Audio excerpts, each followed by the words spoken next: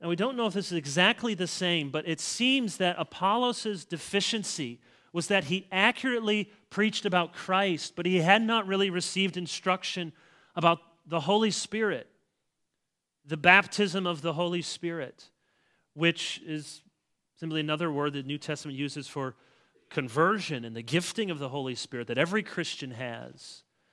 Not a second blessing, but the first work of the Spirit in every believer's life.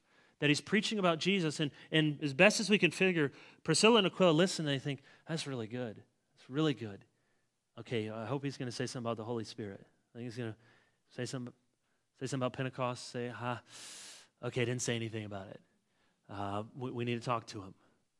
And so maybe they said, look, what, what you're saying is great. It's amazing. You're refuting people. We just want to support this, but we, we just want you to know you may not have heard about what happened at Pentecost and how the Holy Spirit came and fell upon the believers there, and how the Holy Spirit indwells us and equips us for ministry, and how the Holy Spirit is the seal of our inheritance, how the Holy Spirit is the testimony that this Jesus is the Christ because he ascended into heaven and poured out his spirit. Apollos, this is, this is one of your, your arguments. We're giving you another argument that Jesus is the Christ, and that's the pouring out of the Holy Spirit. So graciously, wisely, privately, they speak to him. They're not looking to tear him down. They don't pounce at the first sign of weakness. And neither were they so blown away by his fruitfulness or giftedness that they thought, well, he's untouchable. He's untouchable. We can't say anything to him.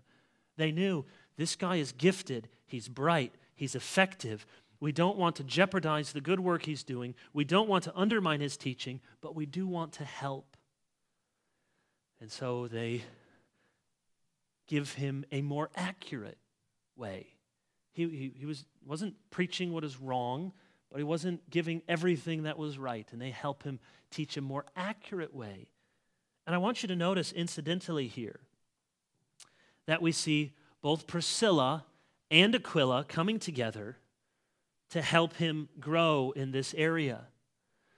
There are prohibitions in 1 Corinthians 11, 1 Corinthians 14, 1 Timothy 2 against women teaching in the church, which is why we have men serving as elders and men who will be pastors and preachers here.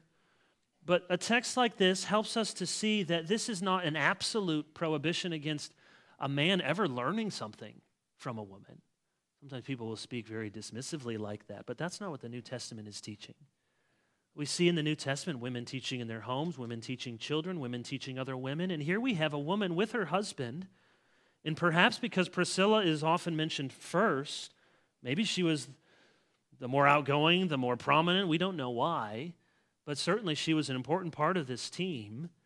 And we see that Priscilla, with her husband, privately teaching another man.